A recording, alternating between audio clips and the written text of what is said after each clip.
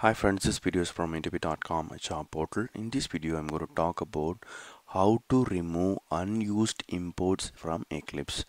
So I have written a very simple Java class and these are the classes which are not used, unused imports in this class. Only these three classes are needed.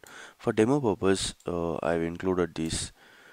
In your project, you might be uh, facing such scenario. I don't want these classes, but it will be staying there in the class and compiler will be giving a warning. Okay it says it is never used. So these are the imports I want to remove. How do I do it automatically? You can click source and you can click on organized imports. When you click on this all the unused imports will be removed automatically from your Java class. Okay?